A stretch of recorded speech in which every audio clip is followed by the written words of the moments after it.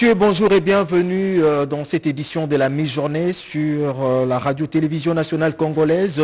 Et l'actualité reste dominée par le séjour du président de la République, Félix Antoine Tshisekedi, en Israël. Aujourd'hui, au palais présidentiel d'Israël, le chef d'État Isaac Herzog et Félix Antoine Tshisekedi Chilombo ont animé une conférence de presse à l'issue de leur rencontre de ce mercredi. Les deux chefs d'État se sont apaisantis sur le point essentiel de renforcement de relations bilatérales d'amitié et des coopérations multisectorielles entre Israël et la République démocratique du Congo. Nous y reviendrons avec force détail au cours de nos prochaines éditions dans une page spéciale que vous suivrez justement à l'issue de ce journal. Mesdames et messieurs, si vous nous rejoignez, bienvenue dans ce journal.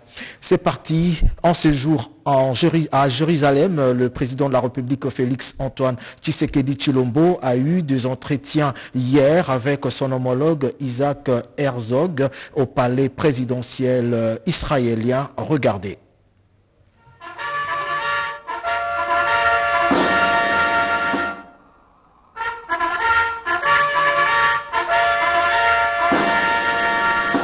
La grande rencontre a eu lieu ce mercredi 27 octobre 2021 entre le président Isaac Herzog et son homologue Félix Antoine Tshisekedi Chilombo au palais présidentiel israélien. Le président de la République et son épouse, la distinguée première dame Denise Nyakeru Tshisekedi, ont été accueillis par le couple présidentiel de l'État hébreu avant d'être conviés à saluer les officiels présents au palais présidentiel.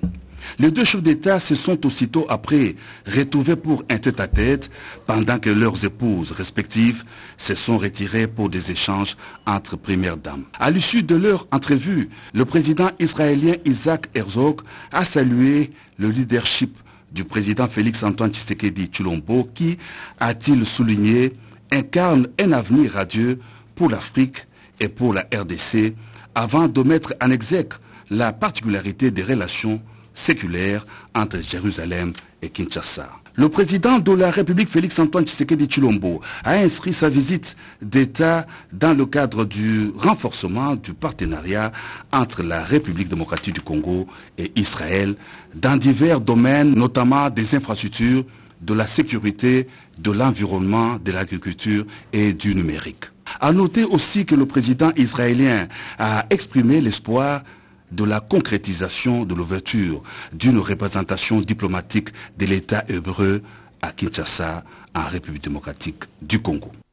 Israël et la République démocratique du Congo, une histoire de coopération qui a traversé les âges. Le président de la République démocratique du Congo, Félix Antoine Tshisekedi Chilombo, qui effectue une visite d'État sur place, a été fait docteur honoris causa de l'université Netanya. C'est avec toute humilité et modestie que le chef de l'État a reçu et accepté ce titre honorifique lui décerné. Encore une fois, retrouvons ces commentaires de Pierre Moïsa. Je vous suis reconnaissant de l'honneur que vous me faites et par-delà ma personne, l'honneur que vous faites à mon pays, la République démocratique du Congo, en me conférant le titre de docteur honoris causa de votre prestigieuse institution académique. J'accepte donc cette distinction avec humilité émotion surtout et fierté. Cette marque de reconnaissance décernée avant moi à d'illustres personnalités, à l'instar de Shimon Peres, Mikhail Gorbatchev ou encore Nicolas Sarkozy, me conforte dans mon engagement de travailler davantage en faveur d'une société plus juste et plus équitable pour l'être et le mieux-être. En effet, après 26 ans d'existence dans la recherche, l'enseignement et le service à la communauté, votre établissement d'enseignement supérieur totalise assurément une remarquable somme d'expérience et d'expertise à partager. Pour toutes ces raisons, je salue le dynamisme des autorités académiques du Collège académique de Natania et de manière particulière le président de cette euh, prestigieuse université, le professeur euh, Jacob Hart et Madame Claude Brightman, qui est en charge du campus francophone. Nelson Mandela disait que l'éducation est l'arme la plus puissante qu'on puisse utiliser pour changer le monde. C'est dans cette perspective que j'encourage la coopération interuniversitaire entre le collège académique de Netanya et l'université de Kinshasa. La mise en commun de nos ressources scientifiques donnera naissance dans les tout prochains jours à un centre de recherche stratégique israélo-congolais. De ce fait, ce doctorat honoris causa que je reçois en ce jour constitue un réel encouragement pour nos institutions d'enseignement supérieur afin de mettre en commun leurs idées, leurs intelligences, leur créativité et leurs compétences, ainsi que leurs ressources, pour construire un projet riche, pluriel, diversifié et fort novateur, bénéfique pour le plus grand bien de nos peuples. On va retourner à Kinshasa pour dire que la primeur des marchés dans le secteur privé de la sous-traitance doit impérativement revenir aux Congolais. Le ministre d'État en charge des petites et moyennes entreprises a répondu à la question orale avec débat lui adressé par euh, le, les honorables députés. C'était dans une plénière présidée hier par le vice-président de cette assemblée, euh, l'honorable Jean-Marc Kabound. Reportage Sylvie Mwembo et Bernard Baudot. Le ministre d'État, ministre de Petites et Moyennes Entreprises, était devant la représentation nationale pour répondre aux préoccupations soulevées par les élus du peuple sur la question orale avec débat lui adressée par le député national Paul Ilungankoulou sur l'application de la loi numéro 17 001 du 8 février 2017 fixant les règles applicables à la sous-traitance dans le secteur privé. Eustache Mouanzi, ministre d'État en charge de l'entrepreneuriat, a garanti aux députés nationaux qu'en termes des statistiques qui ont été voulues par les élus du peuple, il y a lieu de noter que 10 grandes entreprises minières contrôlées dans les Haut-Katanga, au Lualaba, 525 contrats de sous-traitance ont été recensés, mais seuls 18% de ceux-ci ont été conclus conformément à la loi. Sous réserve des autorisations de ma hiérarchie, je voudrais rassurer les honorables députés de ma ferme détermination à descendre sur terrain, en mission dans les 26 chefs-lieux de province pour y matérialiser la vision du président de la République, chef de l'État, et le programme du gouvernement au regard des attributions et missions de mon ministère. Le premier vice-président de la Chambre basse du Parlement, Jean-Marc Kabound a informé les élus du peuple que, suite aux plaintes des habitants du Lualaba sur la sous-traitance, qu'une commission d'enquête devra débarquer dans les Grands Katanga pour inspecter quelques entreprises. Il est sans ignorer que ce secteur est un secteur très important dans notre pays, dans ce sens qu'il booste la classe moyenne. On ne peut pas avoir une classe moyenne si le secteur de la sous-traitance n'est pas contrôlé et il ne peut être contrôlé que par vous qui en êtes le ministre tutelle. Parce que nous devons réellement nous dire la vérité. Nos compatriotes souffrent dans ce secteur. Satisfait de l'initiative du bureau de l'Assemblée nationale, l'auteur de la question orale avec débat, le député national Paul Ilungankoulou, a donné quelques recommandations au ministre d'État ministre de petites et moyennes entreprises dont il doit tenir compte dans l'applicabilité de la loi sur la sous-traitance dans le secteur privé ici en République démocratique du Congo. Le Premier ministre Jean-Michel Samaloukonde a reçu hier les assurances de la chef de la mission du Fonds monétaire international FMI, Mercedes Vera Martin, concernant le décaissement de la deuxième tranche de 230 millions de dollars américains dans le cadre de l'accord triennal en marge de l'atelier d'information sur la mission du FMI sur la première revue du programme économique du gouvernement soutenu par la facilité élargie des crédits. Reportage Pati Tondouangou, Marcel Moubenga et bienvenue Loussala et les autorités congolaises sur la première revue du programme économique du gouvernement soutenu par la facilité élargie Crédit FEC FMI. Vera Mercedes, chef de la mission du FMI, l'a annoncé au Premier ministre et chef du gouvernement, Jean-Michel Samalou Konde Kienge, ce mercredi 27 octobre 2021.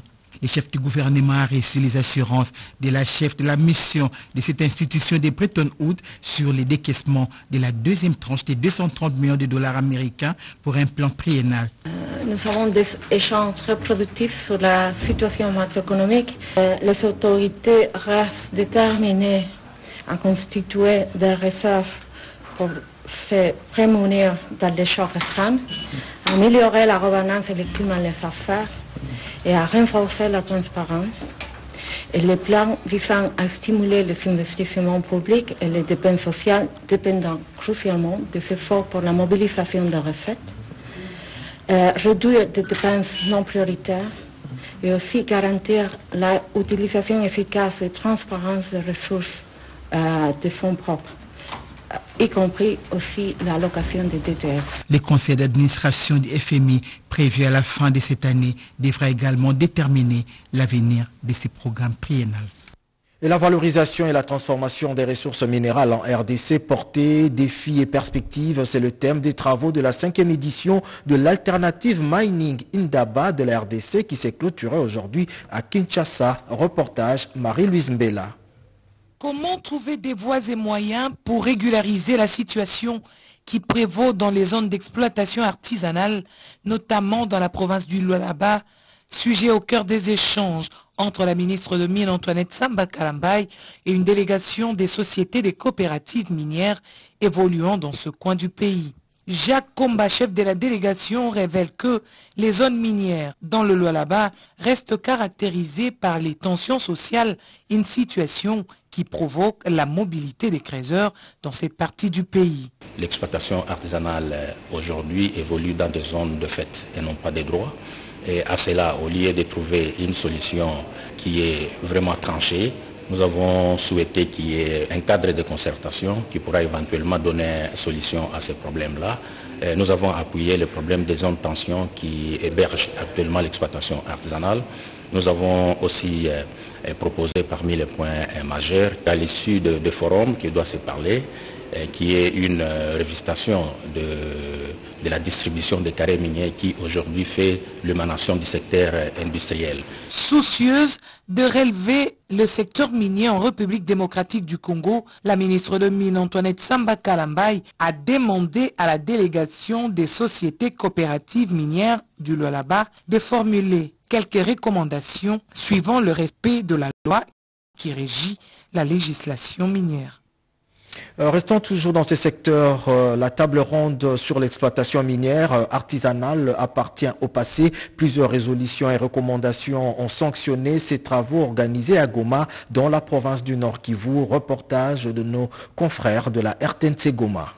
C'est vendredi 22 octobre 2021 à Goma de la table ronde sur la gouvernance minière au Nord Kivu, co-organisée par le gouvernement provincial du Nord Kivu et l'organisation Pacte avec l'appui financier de l'USAID ayant réuni une centaine d'acteurs de différents horizons et composants du secteur minier des différentes provinces. C'est le représentant du gouverneur de province, maître David Kamura Musubaho, qui a présidé la cérémonie.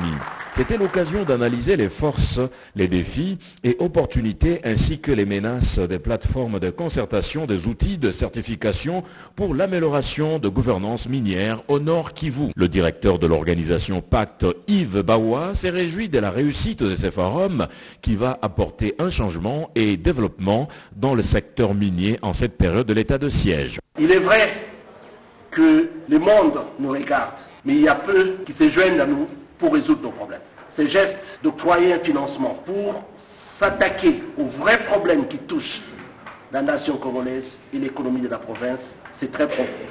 Au nom du pacte, du président mondial des pactes et de tous les partenaires qui ont travaillé dans ce projet, nous vous disons merci et nous allons continuer dans la mesure de, nos possibilités vous soutenir. Le représentant personnel du gouverneur, maître David Kamura, a salué l'engagement des participants quant à l'amélioration de gouvernance minière et le renforcement de la traçabilité de minerais. Les assises que nous venons d'organiser constituent et pas pour l'amélioration et la poursuite de ce processus dans cette mission qu'on tient très long. Que vous tous trouviez dans ici l'expression de ma gratitude pour avoir mis en vos savoirs, vos réflexions, vos expériences et tout ce dont vous disposez comme information sur les secteurs miniers. Les participants à ces assises viennent du Sud Kivu, le Maniema, Kinshasa, l'ancien Katanga, ainsi que le Nord Kivu fortement représenté. Et au ministère des Affaires étrangères, l'heure est à l'ouverture de la 9e conférence panafricaine sur le flux financier. Euh, dont ces assises ont été présidées par le vice-ministre euh, aux Affaires étrangères. Les détails euh, dans ce reportage de Emmanuela Commissaire. À défaut de se réunir en présentiel, le vice-ministre des Affaires étrangères, Sami Adoubangwaoto, a lancé en distance la 9e conférence panafricaine sur le flux financier illicite et la fiscalité. Cette conférence a pour objectif combattre le flux financier illicite pour combler le fossé croissant dans les inégalités en Afrique. Durant trois jours, les participants vont ressortir des éléments clés pouvant mettre fin au fléau relatif à la corruption, au détournement des deniers publics, aux flux financiers illicites et antivaleurs corollaires. Samia Adoubangwaoto a insisté sur les fléaux qui secouent le monde en général et l'Afrique en particulier, avec les conséquences humanitaires qui en découlent. Dois-je vous informer qu'une patrouille financière a été amorcée au niveau de tous les ministères? Services et établissements publics afin de barrer le chemin aux auteurs de la mauvaise gouvernance financière. Qui en découle, Véter? À l'urgence d'harmoniser les efforts visant à à l'urgence d'harmoniser les efforts visant à endiguer les flux financiers illicites, la criminalité financière et économique. Plusieurs personnalités ont pris part à cette activité, notamment le commissaire de l'Union pour le développement économique, le secrétaire exécutif du Forum africain d'administration fiscale, les directeurs exécutifs du réseau africain pour la justice fiscale, pour ne citer que ces derniers. Parlons de l'inauguration du centre de formation des enfants en situation sociale difficile pour répondre aux desiderata de ces enfants. Euh, regardez. À Kinshasa, un plus dans la formation des enfants en situation difficile, des femmes et d'autres catégories de personnes vulnérables. Un centre de récupération vient de voir le jour pour l'apprentissage de plusieurs métiers. Les filières organisées à ce nouveau centre dénommé OASE vont faciliter la création d'emplois aux différents apprenants. Cette œuvre est le fruit du partenariat entre le ministère provincial des Affaires sociales et l'ASBEL, la main dans la main. Cette formation s'adresse à la jeune fille à la femme, parce que nous avons la conviction que le développement passe par la femme. Comme on dit, éduquer une femme c'est éduquer toute une nation. Nous avons orienté notre vision dans cette ligne-là.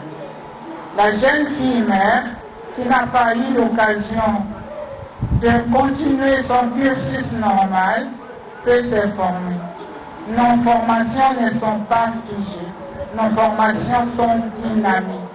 Ça veut dire que les papas, que les jeunes garçons sont aussi la bienvenue le centre OASE vient s'ajouter à la liste des structures similaires déjà implantées dans d'autres provinces en République démocratique du Congo. En vue euh, d'une bonne prise en charge du paludisme pour contrer la résistance de parasites de la malaria, l'OMS recommande de mettre en première ligne plusieurs antipaludiques préqualifiés de bonne qualité. C'est du moins ce que l'on peut retenir de cet atelier organisé à cet effet. Reportage Toto Célestine Songou.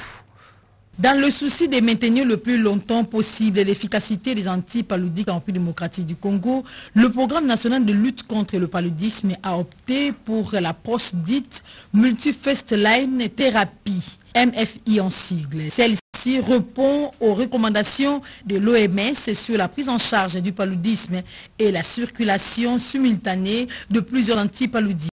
Aussi, cette approche rend-elle le développement de la résistance plus difficile, voire retarde l'émergence des souches résistantes. Cette approche a été arrêtée après plusieurs réunions des experts du comité scientifique restreint du paludisme qui ont proposé les nouvelles orientations de la prise en charge du paludisme. Le programme national de lutte contre le paludisme a organisé un atelier de consensus sur la politique de prise en charge du paludisme en République démocratique du Congo. Il a réuni les cadres du PNLP, les acteurs de lutte contre ces fléaux et le professeur de l'UNIKIN afin de dégager mode opératoire sur le traitement du paludisme en RDC. C'est la prise en charge. Tout ce qu'on va utiliser comme les antipaludiques, il faudrait qu'on se mette d'accord quels sont les, les antipaludiques efficaces recommandés dans notre pays. Il y a des recommandations de l'OMS qu'il faut utiliser dans la prise en charge du paludisme simple, mais chaque pays prend ses combinaisons selon le contexte du pays. L'importance de cet atelier est donc d'améliorer la prise en charge du paludisme. Et les rayons des bibliothèques congolaises viennent encore une fois de s'enrichir euh, euh, de cet ouvrage intitulé Le leadership politique et sous-développement publié aux éditions L'Armatan Paris. Son auteur cherche à provoquer une rupture, une prise de distance par rapport aux thèses conspirationnistes et alarmistes mises en exergue dans plusieurs travaux de recherche portant sur les causes du sous-développement des États post-coloniaux. Il a été porté sur le fonds baptismaux à l'université de Kinshasa. Reportage Iverson Kabwaba et Cédric Kenina.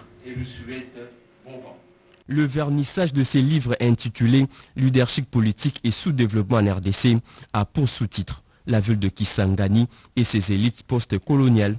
La cérémonie s'est passée à la bibliothèque numérique de la faculté de médecine de l'université de Kinshasa. Plusieurs membres de corps scientifiques de cet alma mater ont rehaussé de leur présence lors de cette cérémonie. Cet ouvrage de 300 pages est du professeur Joël Lissenga Boulia est réparti en cinq chapitres et entend concilier l'élite politique congolaise et l'idéal démocratique par rapport au devoir patriotique dans l'exercice du leadership de développement. Les mérites particuliers de cet ouvrage a souligné l'auteur et de donner la parole aux protagonistes de la vie sociopolitique de la ville de Kisangani. Cet ouvrage propose des solutions pour construire le leadership politique de développement. Évidemment, nous partons euh, d'un cas de figure de la ville de Kisangani, mais les conclusions de cet ouvrage sont à généraliser dans une approche tout à fait sur l'ensemble du Congo pour que l'on voie ensemble comment construire ce leadership politique de développement que nous voulons tant paru aux éditions L'Armatan, ces documents qui a été porté sur le fonds baptismaux par les professeurs Yvon Vangui est une avancée scientifique et sociale qui retrace les rapports entre les leaderships politiques et les développements en RDC. Et parlons encore de l'université de Kinshasa où le site de l'UNIKIN menacé par des têtes d'érosion et pour trouver une solution idoine à cette situation, le recteur de cette alma mater a fait venir le directeur général de l'OVD. Ensemble, ils ont visité et inspecté les sites endommagés pour faire un état de lieu. Reportage Grâce Maosso. Des travaux d'assainissement méritent d'être réalisés sur le plateau des professeurs de l'Université de Kinshasa, l'évacuation des immondices, le curage des caniveaux, stopper la progression des têtes d'érosion qui menacent l'ensemble de l'université de Kinshasa sont là les principaux défis à relever. C'était lors de la visite effectuée par le recteur de cette alma mater et l'ensemble du comité de gestion, accompagné du directeur provincial de l'Office de voirie et drainage. Motif de satisfaction du numéro 1 de l'UNIKIN, le professeur Jean-Marie Kaembe Toumba. Seulement hier, nous avons pris contact avec lui. Le responsable provincial est chez nous ce matin. Est-ce que ce n'est pas là déjà un signe de savoir travailler la main dans la main et d'accompagner, il faut le dire, la vision du chef de l'État et de ceux qui nous dirigent? Parce que nous aussi, université, cité dans la cité, nous faisons partie de ceux qui l'administrent sur le plan de l'assainissement environnemental.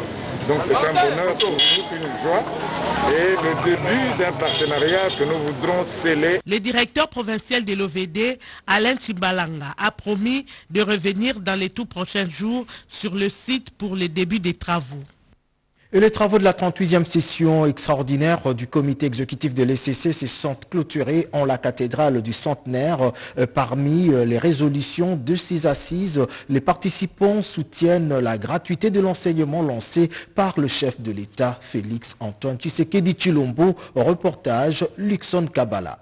La 58e session du comité exécutif national extraordinaire tenue à la cathédrale du premier centenaire protestant de Kinshasa du 25 au 27 octobre 2021 sous le thème L'Église du Christ au Congo, sentinelle en République démocratique du Congo, thème tiré du livre Ézéchiel, chapitre 33, verset 1 à 10.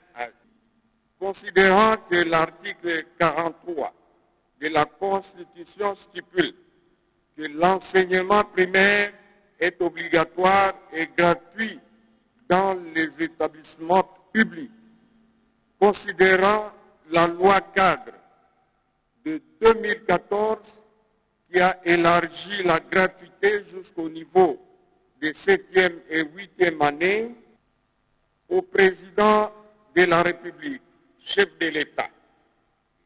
L'exhortant à demeurer ouvert et à se surpasser en vue de matérialiser l'initiative de paix et de cohésion nationale. de valeur pour valoriser la culture du manioc à EBI Village, euh, mais aussi d'autres facteurs environ- environnementaux. C'est parmi les objectifs de l'atelier initié par EB Green Meeting qui s'inscrit dans le cadre des préparatifs de la COP26. Cédric Enina nous en dit plus. Un atelier qui poursuivait plusieurs objectifs dont le plus essentiel sont l'examen de projets en cours dans les secteurs de l'environnement, la réalisation des études pour quantifier les stocks de ressources naturelles et du climat en vue d'optimiser la production dans l'agroforesterie et faire des IBI Villages un pôle d'excellence dans la recherche en agroforesterie. L'effet marquant de cette activité, c'est aussi l'intervention du professeur Marie-Claire Yandjou qui est revenu sur la chaîne des valeurs du manioc et le professeur Kabasele qui a suivi sur l'utilisation du satellite dans l'occupation du sol. Désormais, au Congo, on doit s'habituer à utiliser le, man- le manioc dans la panification et dans la pâtisserie. Et ce que nous avons apporté ici, nous avons démontré à combien le manioc est très important, même pour l'autonomisation de la femme, bien sûr, mais la création des entreprises surtout. Parce que maintenant, nous pouvons créer des boulangeries, des pâtisseries et même des usines de biocarburants, voire même des brasseries. Différentes recommandations ont été formulées au Parlement et au gouvernement de la République pour qu'en plus du projet des plantations d'un milliard d'arbres porté par le chef de l'État, que les dossiers sur la panification à base de farine de manioc et les fours de carbonisation soient présentés à la COP 26. Et puis en nouvelle euh, sportive euh, au championnat du monde de boxe qui se déroule en Serbie depuis le mardi euh, 26 octobre de- euh, dernier. La RDC a enregistré sa première victoire hier mercredi grâce à Christophe Louteke qui a battu qui a battu au point le Vénézuélien Corbage Barbara Nalek par 4 euh, à 1 dans la catégorie des cruisers. Le pugiliste congolais qualifié pour euh, le prochain tour va affronter pour le cas ce dimanche 31 octobre le Polonais euh, Victor euh, Zak. Le deuxième boxeur à combattre hier, Pembelenzola, a perdu lui 5-0 face à son adversaire euh, du Kyrgyzstan euh, du Kyrgyzstan dans la catégorie des 60 kilos et pour aujourd'hui c'est le boxeur euh, euh, Luta euh, qui va entrer en lice avec dans la catégorie des 57 kilos comme nous le signale notre envoyé spécial à Belgrade en Serbie Nadine Banda. Euh, je le disais également au titre de ce journal que l'actualité reste dominée par euh, Jérusalem où le palais présidentiel d'Israël, le chef de l'État Isaac Herzog et Félix Antoine Tshisekedi Chilombo ont euh, animé une conférence de presse à l'issue de leur rencontre de ce mercredi. les deux chefs d'État se sont apaisantis sur les points essentiels de renforcement de relations bilatérales, d'amitié de coopération multisectorielle entre Israël et la République démocratique euh, du Congo. Vous suivrez euh, en page spéciale juste à la fin de ce journal ces images et commentaires de notre confrère euh, Kibambe Somoïsa. Fin de ce journal, merci de l'avoir suivi et prochain rendez-vous avec l'actualité, c'est à 19h. Restez branchés sur nos antennes. Merci et au revoir.